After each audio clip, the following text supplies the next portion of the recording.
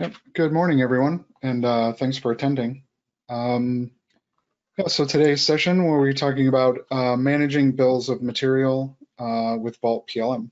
So on the agenda, we have, um, we're going to talk a little bit about uh, Vault, the Vault side of the equation, and how you can take your uh, BOMs straight from your CAD environment into uh, Vault Professional to arrive at a complete engineering bill of materials.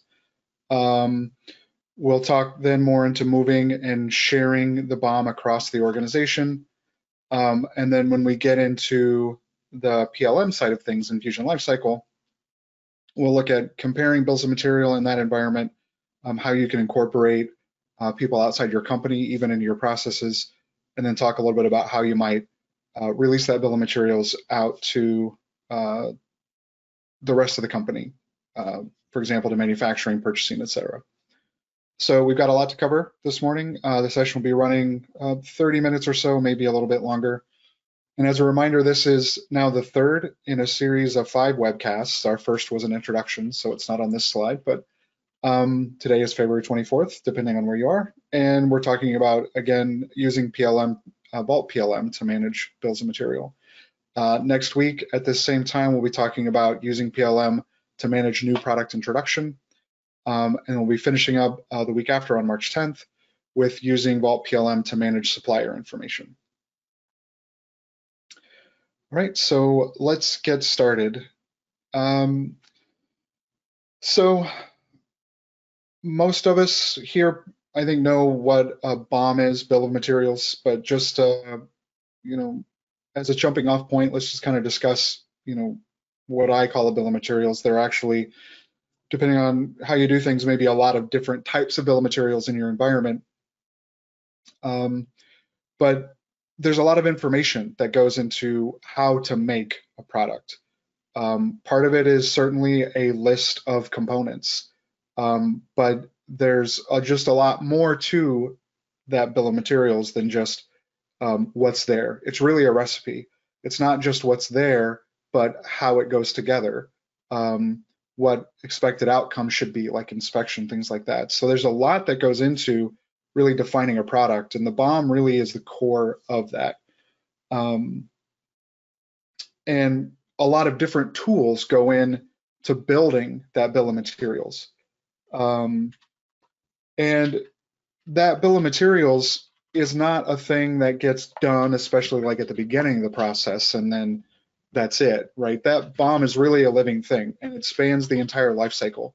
Typically, we'll start, you know, in R&D or in engineering, and it, um, you know, gets fleshed out from a standpoint of what goes into the product, um, and then from there, it gets transformed and added to, and through that whole process, it's changing right? So managing bills of material can actually be a very complex uh, part of the product design and manufacture process. Um, and that's borne out with research that Autodesk has done, you know, in asking companies what challenges do you face uh, from day to day. Um, last week we talked about managing change, um, which is pretty much the most uh, the biggest challenge that most companies face. Um, real close to that, though, is configurations and bills of material, right? Um, and change really impacts everything else, uh, so it's understandable that that that would be a big challenge. But BOMs a pretty close second because communicating BOMs and doing so accurately, um, making them useful, um, there are a lot of challenges. Um, and what we're going to talk about today is one way that you can help uh, streamline those processes uh, to make creating those bills of material and maintaining them and managing them um, easier. Um, so we're going to spend a lot of time in software today just to show you kind of what that process would and could look like. Um, but I'd like to start before we get into things um, with a question for you all, because there are lots of different ways that people uh, create and maintain their bill of materials. So we've got a question here to start out with. Uh, basically, where is your engineering bill of materials store? So this is be the the bill of materials that you know uh, a CAD user would have input on, engineering would have input on, and that is often the starting point for what the rest of the business would use. So I'm going to go ahead and put the poll up here. Um, and again, the idea is I'd like to understand what you would consider your official engineering bill of materials. Um, a lot of people put it into a spreadsheet, like they have Excel or maybe a Google Doc or, you know, uh, real old school, maybe Lotus 123 or Lotus Notes, that sort of suite. Not many people using that today, but if you could take just a second and, and provide a little feedback, because I'm curious where the audience stands. Um, again, spreadsheets are, in my mind, probably the, one of the most common. Um, it could be in the CAD model, and I guess to clarify this, um, where would you consider the BOM is complete?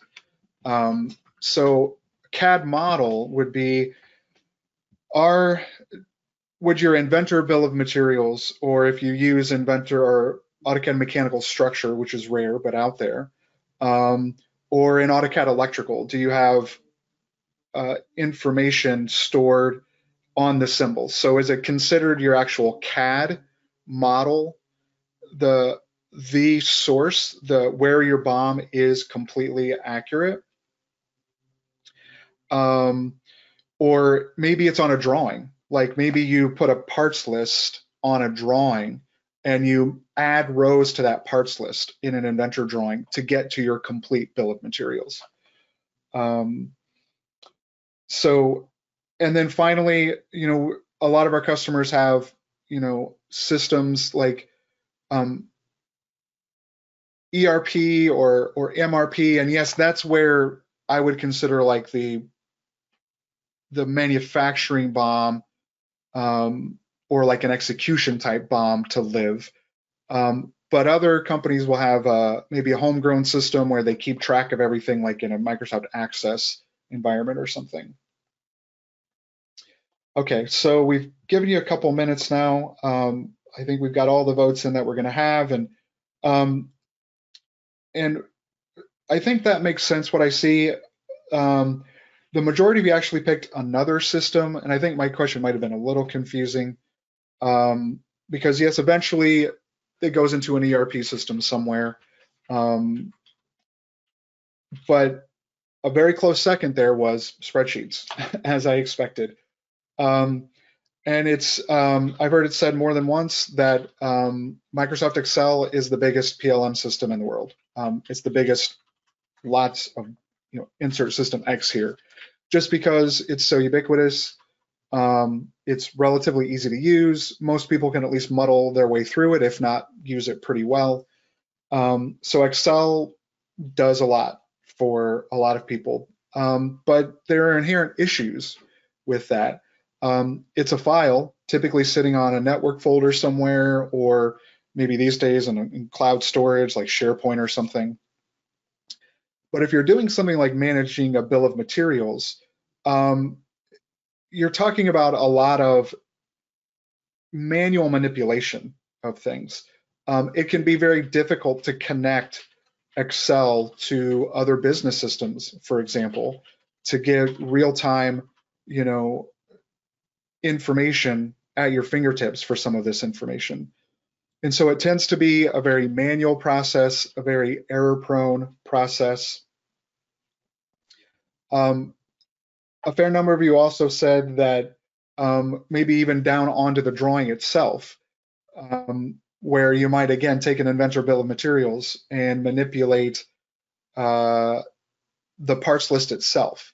And in my mind, that's even more difficult to manage because now it's in a file that most of your company probably can't even open, um, let alone manipulate. Um, and so that tends to lead to passing that drawing off to um, somebody either in electronic form or even worse on paper. And then they're typing that information back into some other business system. to essentially duplicate that bill of materials that someone spent a lot of time working on, um, pretty much start over and type it all back in. And every time, every keystroke is an opportunity for a mistake, right? So um, thank you for that feedback. I really appreciate it. It is about what I expected based on you know conversations I've had with lots of different companies. Um, so let's talk very specifically now about our engineering bill of materials. Um, you know, if you're using something like Inventor, um, the idea really should be that we're capturing uh, our intent for the design, right? So when we started in AutoCAD decades ago, um, transitioning from a board with paper, um, AutoCAD was essentially just a digital drafting board, right? It was just a way to put lines down um, in a much more effective way. Um, and as CAD software has evolved over the decades, um, it's really given us an opportunity to communicate our intent to the computer so that it becomes easier to make changes to things like if you're doing parametric design. Um, but part of that intent really should be what's required to actually put this whole thing together.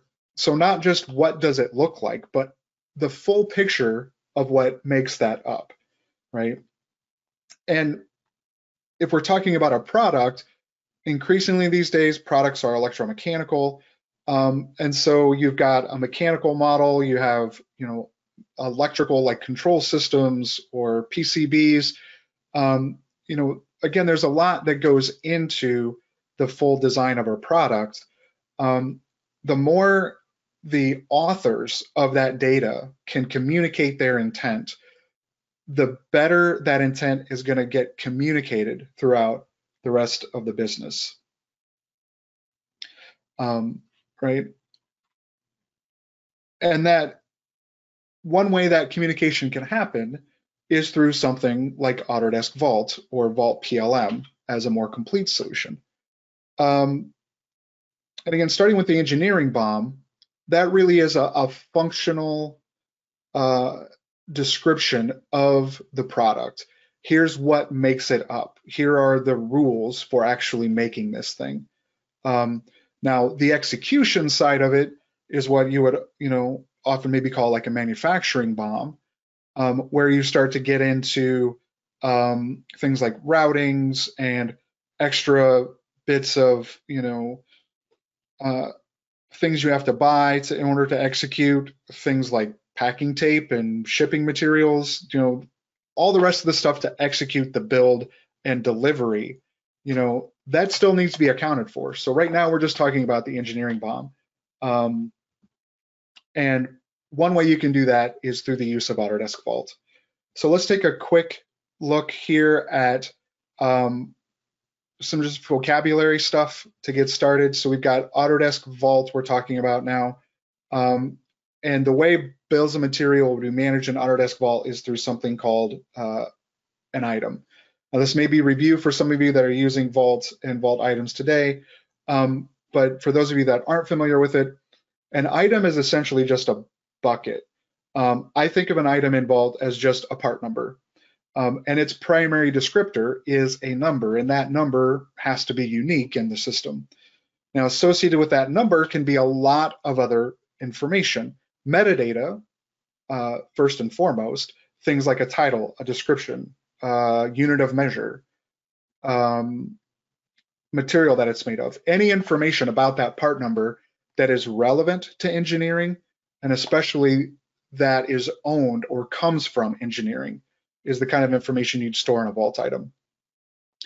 But in addition to that metadata, we've got documents. Vault is a data management system. It manages documents. And so um, that item could be fully described by a Word document or a PDF. Let's say it's a it's a, a chemical or a lubricant or a sealant. Um, maybe there's a document like an MSDS sheet or a spec sheet that fully describes what that thing is. Um, in Vault, you can link the item to that document that fully describes it. Um, you could attach other bits of information to it, like a picture of what the packaging looks like, for example, so that if someone wants to make absolutely sure, you know, I'm about to use this thing in a in a um, on the floor when I'm building it, what does the package look like? You could have a picture of the package so that there's no question about you know what they're grabbing. Um, but if we're talking about the Autodesk world and Vault, very often the definition of that part number really comes from a CAD model. So an IPT or an IAM um, or a DWG file, right?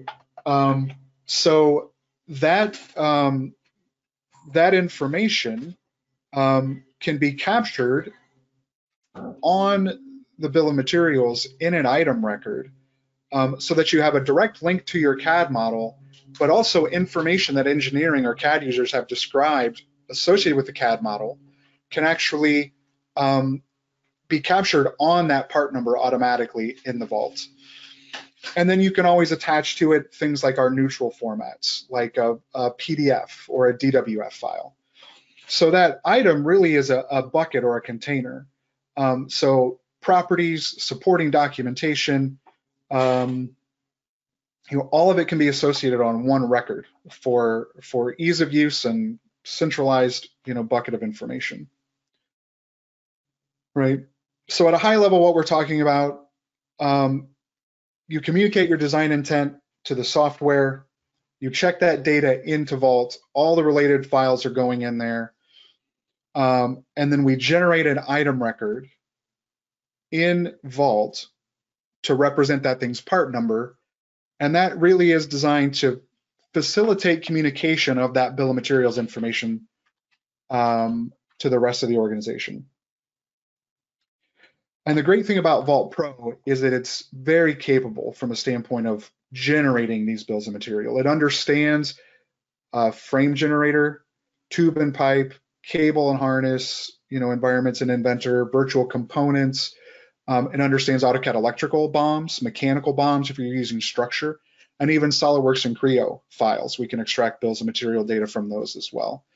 Um, so it is pretty comprehensive in terms of, you know, um, a wide range of design products that are in use today.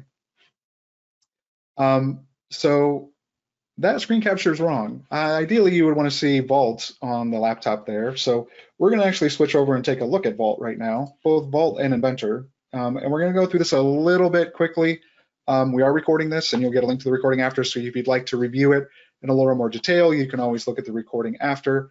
Um, we'll also um, be more than happy to talk to you if you've got any questions. We can talk to you one-on-one um, more about what Vault Pro can do um, how items behave, how they interact with Inventor, et cetera.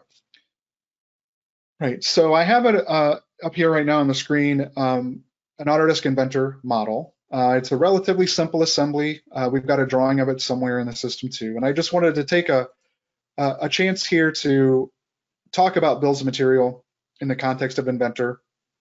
Now, about 20% uh, of you said that your bill of materials is essentially fully defined in your CAD model.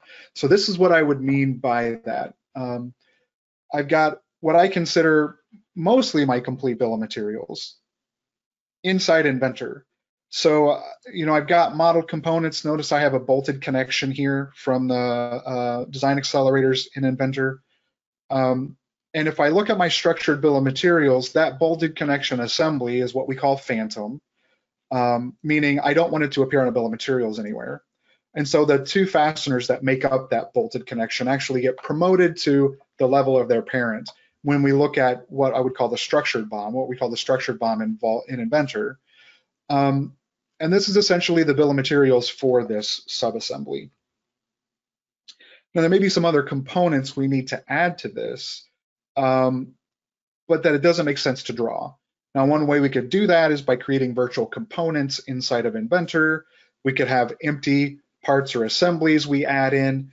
Um, both of those can be problematic because it could be difficult to find an empty part somewhere. You might have to go to Vault and search for things and add it to your model, and now you've got an empty piece in there. Um, can confuse somebody looking at it later. Um, if it's a virtual component, um, you have to maybe type in description and part number information every time you use it. Um, so to avoid that sort of thing, if we take a look at this same assembly in our vault, we can use Vault Professional to extract the Inventor bill of materials into an item record. So this extracted the, the description of the assembly. Um, it links automatically to the assembly and drawing file that's in the system. Um, and it extracted the bill of materials already um, from that assembly. And each of those subcomponents also needs to be an item record in the system. And if you notice in this column over here, I have some interesting little icons with a plus sign. Um, it's actually going to create new part number records for everything that needs to be new. Um, these two fasteners are already in the system, they're already released, and so it's just going to re-reference those things. So this is a great way to keep, you know, track of part numbers, make sure things are reused properly. Um, and in addition to this automatic extraction, I can do other things, like I could add an attachment to this. So let's say that I have a, a PDF that I created of the drawing because I want to make it easy to share with people. I can actually add that PDF to this record. So if somebody comes across this record in the Vault system, um, they could see that PDF straight away um, and maybe even preview the drawing right here inside the Vault client. So if you've got non-CAD users that still need to interact with Vault, this is a great way for them to see that information. And we can even, you know, with some third-party tools on these items, even automate the creation of that PDF so that when you release an item, for example, how we're about to do in just a second, um, that PDF can get generated automatically. So in addition to just capturing this information, adding attachments, I can also add from existing items in the vault or create new on the fly other components. So if I need some lubricant here, I can actually search for that. It's already in the vault. It already has its part number. It's already released. I could adjust its quantity. I know I need three of these in this case. And now my item is complete, right? I've completed its bill of materials. I've associated uh, additional reference information to it. And now, just like, um, you know, if you're used to files in Vault and rev control, our part numbers in Vault have that same behavior um, so that I could change its state and even release this guy. Right. Um, so Vault Pro can give you complete control over your bill of materials, right? When you get all of these released. Um, and this really has prepared the bill of materials, the engineering BOM, for communication to other parts of the company, right? Um, we can compare BOMs inside Vault Pro. I don't want to get too much into that because we're a bit short on time today. Um, but you can compare bills of material. Um, we have rev control. We can revise these things. Um, we can export a bill of materials from Vault if you need to, right? But this lets you get complete control over your BOM um, and this is really the first part of BOM management in the Vault PLM environment. Right.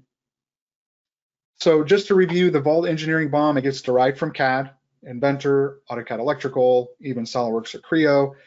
It is integrated with CAD. CAD still controls the part of the BOM that was derived from the model, right? So the engineer, the CAD user who's defining this stuff in the CAD model, they always control that part of it right? Um, it lets you release and publish that bill of materials more effectively um, and helps you manage change on the engineering side. So again, that's the first part. Now, the next part is communicating that BOM to everybody else when it gets transformed and viewed in different ways. And so one more quick poll question here. We won't have, I won't spend too much time on this, but how do you communicate your bill of materials outside of engineering? right? And a few different ways. Um, via the drawing, maybe you send a drawing to someone and they look at the parts list or the, the table on the drawing for that information, or via a spreadsheet if you're if Excel is where your BOM lives, like you know about a third of you said earlier, Maybe you just send that spreadsheet when it's done, you email it to somebody or it lives in a network folder.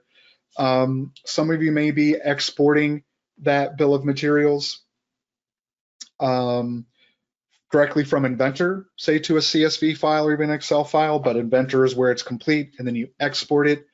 Um, others, you know, and I say this is relatively rare in most cases, I think, a direct integration with ERP or MRP where you may be taking that CAD BOM and have something like um, CADlink is a really common one where you can have an add-in inside Inventor and you can compare a BOM directly to an ERP system and and push the BOM. Right. Um, so about half of you have voted, um, and as I expected, actually I'm a little bit surprised. Um, I thought spreadsheets would be more common, but um, a really common method here is is actually sharing it via a drawing. So actually the, the most common method here is you just pass off a drawing to somebody. Um, so I really appreciate uh, your responses to that. Um, and I would say, obviously we're not alone. A lot of you do that. And I would say that's generally the least efficient way to pass off this bill of materials. Because again, that often leads to retyping information into another system, right? So let's talk about a better way of doing that. Um, and that's where the entire Vault PLM platform comes into comes into play. So where we start with the BOM, the engineering BOM defined in PDM, largely driven by CAD, but then maybe stepped on a little bit inside Vault. Um, it might then go into Fusion Lifecycle, right? So we take that product data, we can add better processes on top of it, invite and involve more people into the process, and really streamline the communication and really overall management of that bill of materials um, to get everybody involved, right? So that everybody is always on the same page. Um, one central location to go for um, what is considered the complete enterprise bill of materials. Um, engineering could still own the engineering BOM that comes from Vault, um, but the complete picture is in PLM um, really effectively putting time against the BOM Change is a constant, right? And so um, we really do often need to know what did a BOM look like, maybe even on a certain day, right? PLM lets us more easily put that time element against the BOM because it's better at managing change. And so we can go back in time and see exactly when, what did the BOM look like on this day, and then being able to compare that those changes in bills of material. What did it look like uh, three months ago versus what does it look like today? What changed, right? Um, so in addition to those basic ideas, you know, we have lots of capabilities when we're looking at bills of material in Fusion Lifecycle. Um, the biggest one is different views for different use cases. We have views for BOMs in invent in Vault, but that's really we have more of a, a unified use case for BOMs in Vault. That really is mostly the CAD users in engineering.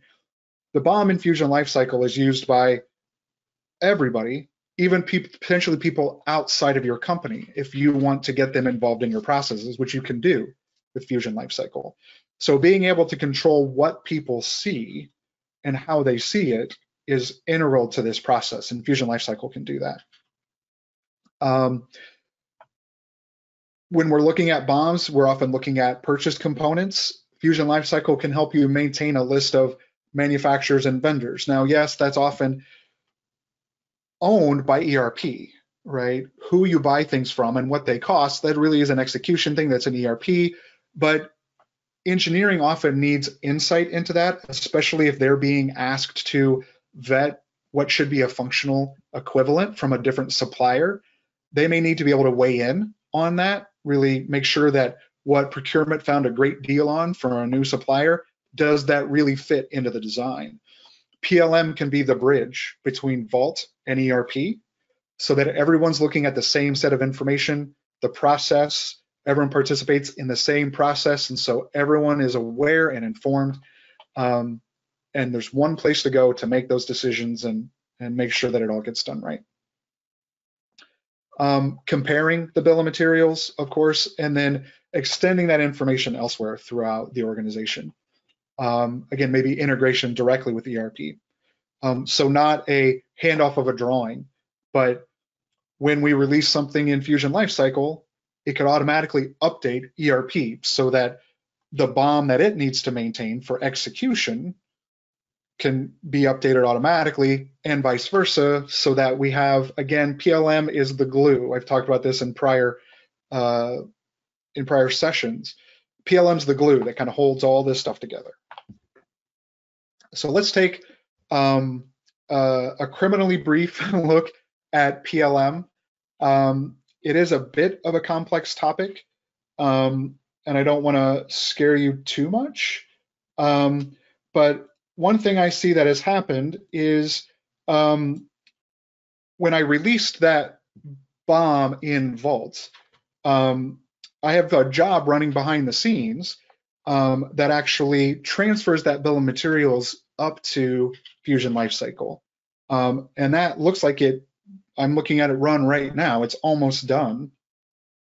And so we could take a look here inside uh, Fusion Lifecycle. Um, and if we look at, I've got a special workspace. We talked a little bit last week about workspaces, um, but um, if we take a look at our Vault BOMs workspace, these are bills of material that got transferred directly from Vault to Fusion Lifecycle without any intervention from me, right? And so I think now this just finished up. Um, we were looking at our combustion chamber. And so if I refresh my view here, um, we should see here um, my combustion chamber parts are now inside my system here. Um, so that bill of materials from Vault actually did get added up. And I think it's this guy here. I forgot to give him a description. Um, but this is my combustion chamber. Um, you know, this is one of my components here. Um, my parts got added up, their descriptions got added up. And now this is where we're ready for the rest of the process to take over, um, right? Um, now, they start out unreleased, right? Because while their engineering BOM is released, this, you might call it the manufacturing BOM. That's a very complex term. So I don't want to say this is, you know, you know, would necessarily be what you would execute against, but this is where additional information gets added. And so there's additional things to fill out. For example, um, if this is a purchased component, um, we may need to come in here and say where we buy it, right? So this is where Fusion Lifecycle could come in and say, um, okay, we might buy this from uh, a certain supplier, and I've got a list of suppliers here that are maintained in Fusion Lifecycle, um, right? And these suppliers, we'll talk more about this um, in a couple weeks, um, we could have workflows inside PLM where we regularly audit these suppliers to make sure that what they sell us is what they promised, right? That workflow could be managed by Fusion Lifecycle. And because we're doing that in Fusion Lifecycle, we could take advantage of that information. Here's everyone that we've said is allowed to provide products to us. You know, here's, you know, their part number, um, what it costs us from them, right? Um, and we could have a whole list of suppliers here um, potentially, right? Now I want to take a look at a slightly more complex workspace to show you some more workflows here. Um, so if I go back home, I've got a, a component here that I've already linked. Um, let's see here, this guy here. So this is a, a slightly more complex component um, in a slightly different workspace. And we can see its bill of materials here. Um, and this is a, um, in this case, it's a, a, nested BOM. We have multiple levels here and we can expand that out. Um, this is a, a, an electrical component. Um, but we'll look at, we can look at these BOMs in different ways. So this is a, a multi-level BOM. We can flatten this if we need to. Um, notice something interesting here. We've got a column of information, this reference designator. This is actually capturing information for device descriptions or tags or, or device tags on the schematic representation of this thing, right? So we can get very specific with the information about these components on this specific bill of materials, right? Now, if we go and look at a, drill down here to one of these guys, um, this one here, I think is the one we wanna look at. Um, we've got an extensive list of components here again. And we can look at these BOMs in different ways, right? So this is my default view I have going right now. Um, I could look at um, for environmental compliance, um, right? A whole different set of columns would will appear, right? Is it RoHS compliant? Is it REACH compliant? Does it meet our conflict mineral um, compliance standards? So depending on your role, you may or may not be able to see some of this information, um, you know, and you may or may not be able to edit certain information about the component.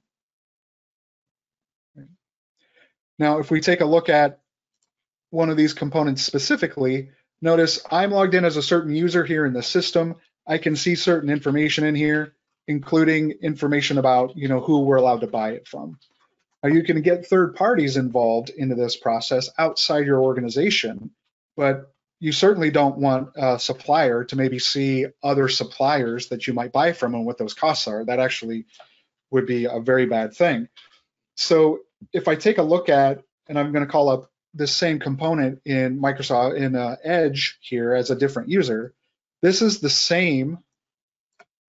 This is the same component in two different views. This is on the right here is me logged in as an administrator of the system. This is me logged in as maybe a supplier. Um, and this as a supplier, I can even edit this, but notice I cannot see who, you know, me as my customer might buy this from. All I can do is maybe say, yes, when we supply this component to you, it is RoHS compliant, right? So you can very carefully control who's allowed to see and who's allowed to edit every single one of these properties you might have on a parts part number uh, details page. Um, so if we come back here and take a look, if I edit this, um, we might see, again, our list of approved manufacturers. And I could manipulate this to add a new manufacturer. We can indicate who is our an approved manufacturer versus a preferred manufacturer versus somebody that we shouldn't be using, right? Um, we have that capability. Um, and all of this is customizable. You could take advantage of this, you could choose not to. That's always completely up to you, right? Um, so whether or not we fill out this information, um, ultimately, um, you know, what I could do is come in here and say, here's the part number and here's the, you know, again, another supplier, just kind of like I did in another view. Um, and maybe this is our preferred supplier, right? Because they're a little bit cheaper. Right. Now that kind of information can ultimately roll up to our overall bill of materials, right? So you can see here now, this bill of materials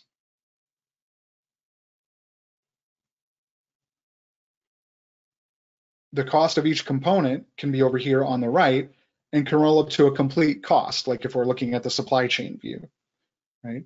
Um, so again, the views are, are really important for sharing information to make sure people see things the right way, right? Um, now, in addition, things like effectivity or comparing bills of material. If we look down here, there's a column in here, it looks like a little stamp, you'll see. Um, as I look through here, a couple of these components actually have a stamp, and this means they're undergoing change right now, right? So if I were to click on this link, I can actually go right to the change order that is currently governing this component, right? And if this is our component, component, I can preview that guy. I can see here's the information about it.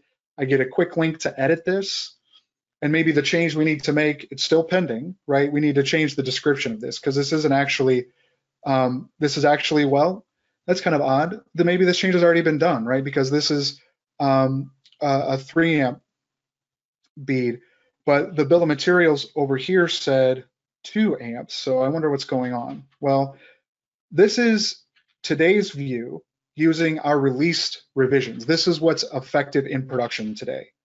Um, I can compare that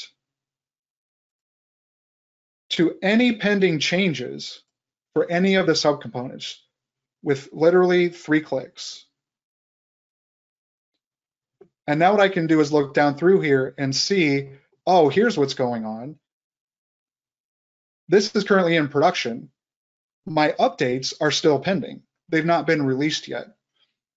So I can see, you know, as of today, pending changes, right? Anything that is currently undergoing change will be marked up, right? So this gives me very accurate, literally up to the second uh, information about not only what's going on right now, but what we're planning to happen. And I can compare this as well to something in the past too. Um, I can say, you know, when, you know, you know, at what point in time should we be looking at this? Um, and make sure that I have the exact information um, that I need at the time. And then finally, let's take one more one more thing to talk about. And again, I said this was going to be a very short overview.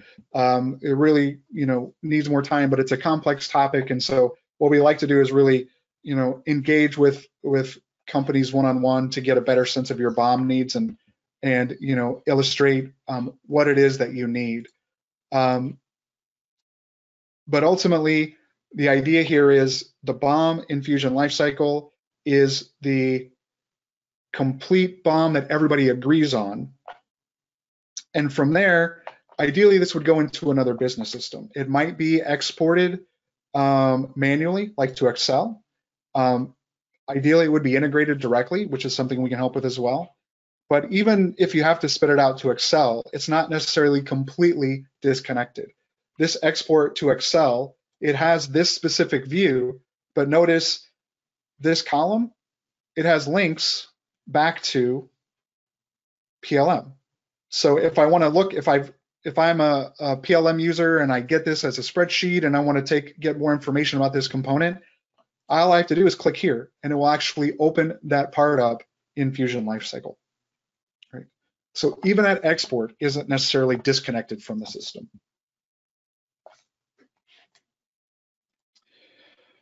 Okay, so um, again, that was short, but I wanted to just give you a taste of it um, to give you a sense of the kind of things you can do.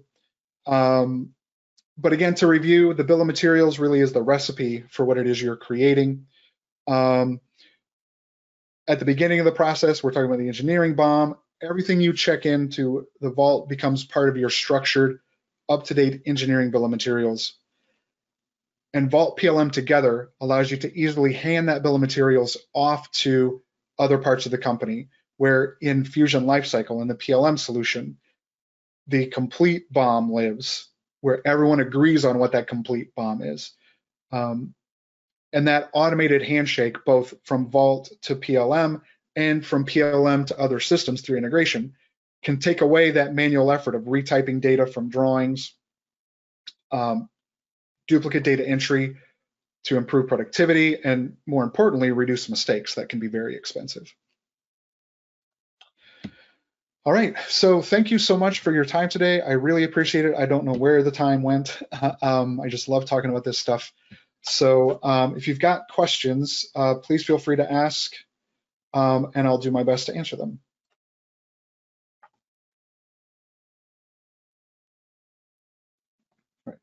So here's a question. Um, if I edit, say we're capturing vendor data in Vault um, in an item-based setup. Um, if I edit those properties in Fusion, will the information be updated in Vault too? Um, that absolutely can happen. So what I showed you was sort of a one-way push, but that integration can absolutely be bidirectional. So what it comes down to is who owns the information and where is that information needed. So if it's information that engineering is responsible for. And engineering's primary tool is CAD and Vault. You would store that information for sure on the Vault items, and engineering would be responsible for maintaining it. So if that needs to change, you know, that might get triggered in Fusion Lifecycle for an overall review process, but ultimately the item gets revised in Vault, engineering makes those changes, they release the changes, and then those changes get automatically pushed to Fusion Lifecycle. So that would be for information that engineering owns. If it's information that somebody outside of engineering owns, where they don't use CAD and maybe they don't even use Vault at all, that information would still be in, in Fusion Lifecycle because it's important for everybody to know, but ownership of that information could be in Fusion Lifecycle. That's where you go to edit it. That's where it's managed via change. And then when, when that change process happens in Fusion Lifecycle, um, that information um, can get pushed down into Vault. And in fact, um, it's going to my personal Yahoo email now, but I actually have something set up on my uh, on my Fusion Lifecycle client um, just as a test where every time an item changes in my Fusion Lifecycle tenant, um, I get an email with the new properties of that item. So through that mechanism, um, through integration, we can actually go both directions if we need to. So if the owner of the information is outside of CAD, outside of engineering, they could actually come into Fusion Lifecycle, maintain that information, and then if it's useful and important for that information to be visible in Vault, because not all of this stuff is necessarily important in Vault, but the information that is important can get pushed back down into Vault, right? So it can be bidirectional. So the short version of that is yes, the system that the author and owner of that information uses should own it. And then other systems should get updated with it. And that can happen regardless of the system involved. Hopefully that answered the question.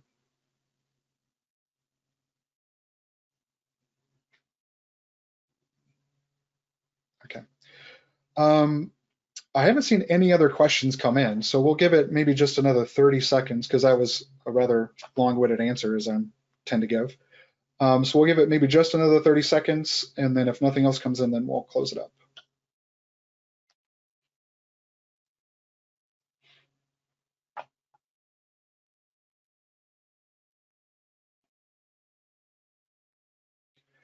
Okay, so another question. So manufacturing can add items to a BOM that engineering releases to Fusion Lifecycle and hence create a manufacturing BOM, even if the item was released in Vault to engineering released. Um, absolutely.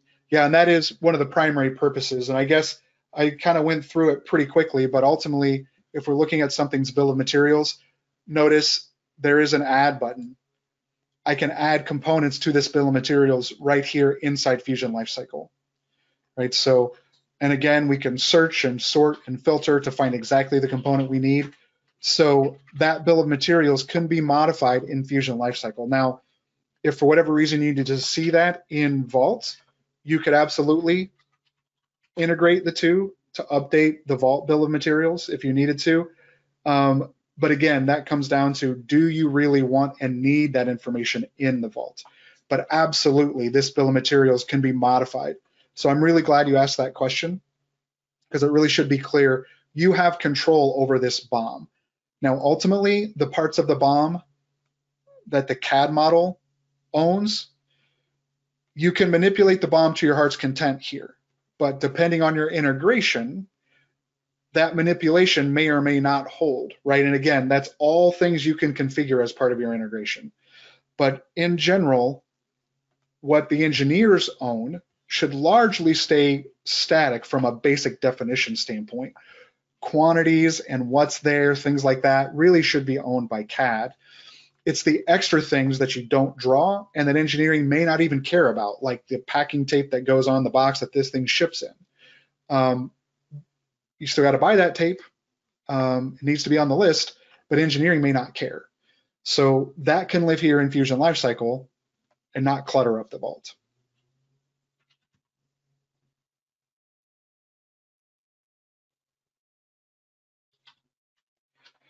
Okay, so I haven't seen any other questions come in, so I think uh, we'll go ahead and wrap it up. So again, thank you so much uh, for your time, and if you've got any other questions, feel free to reach out to me or uh, your Hagerman account uh, manager, and uh, we can set up a one-on-one call to discuss. So Ashley, I'll turn it back to you. Okay, thank you, Forrest, and thank you everyone for attending. Uh, have a great day.